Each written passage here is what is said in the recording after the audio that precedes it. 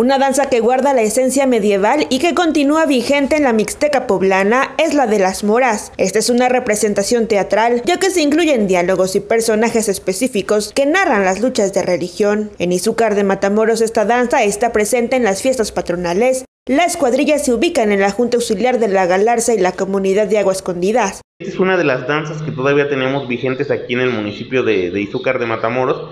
Es una danza que de alguna manera reproduce una, eh, digamos, una cuestión de la historia medieval, que es las luchas entre los moros y los cristianos, las luchas de religión que se dieron precisamente en Europa. Obviamente cuando esto llega a nuestro continente asume una nueva identidad porque ahora contra quienes se van a pelear es contra quienes no tienen la religión católica, en este caso pues son los indígenas, ¿no?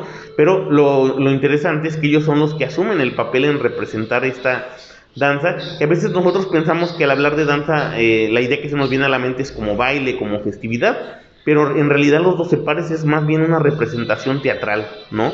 Lo que hay, vamos a encontrar es que es, por eso es muy larga, por eso hay diálogos, por eso es que hay personajes con nombres específicos que juegan un rol, que platican algo, que discuten ciertas cosas y que si uno a veces no capta esa esencia, puede ser que nada más te quedes con esa parte donde están golpeando con los machetes y la comunidad de Agua Escondida. Raúl Martínez, cronista del municipio, señaló que en antaño existía una cuadrilla en cada barrio y comunidad. Sin embargo, poco a poco fueron desapareciendo.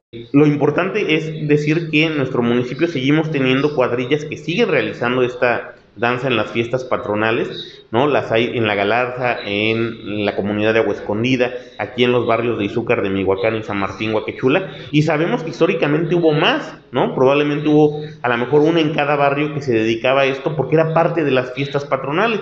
Obviamente por diferentes razones, pues esto se ha ido perdiendo, Destacó que la danza de las moras se puede observar durante las fiestas patronales de Izúcar, por lo que se debe valorar la preservación de la cultura por parte de los danzantes. Las hemos visto por ahí en la fiesta de Santiaguito, en alguna fiesta de los barrios, y que parecieran, pues a lo mejor que no le damos esa importancia. Hoy queremos reconocer a través de esta exposición el papel que han jugado estos danzantes y el papel que siguen teniendo para reproducir un elemento de la identidad de Izúcar de Matamoros.